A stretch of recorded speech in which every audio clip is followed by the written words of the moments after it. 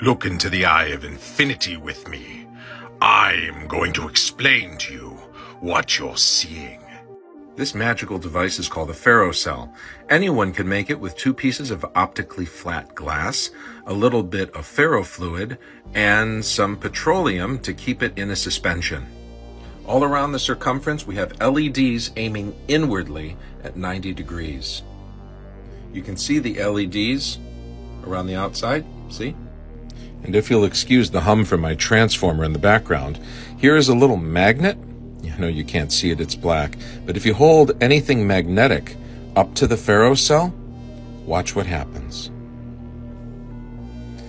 Within seconds, what develops is a live picture of the magnetic lines around this magnet.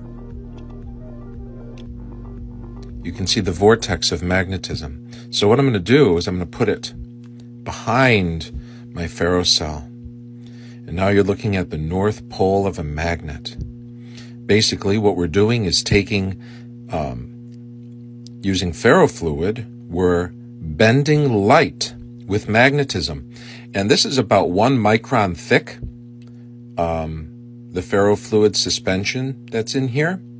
And if you look really closely at an angle, it's holographic. The image goes about three inches deeper than the surface of the glass. And I'm going to turn this magnet sideways again.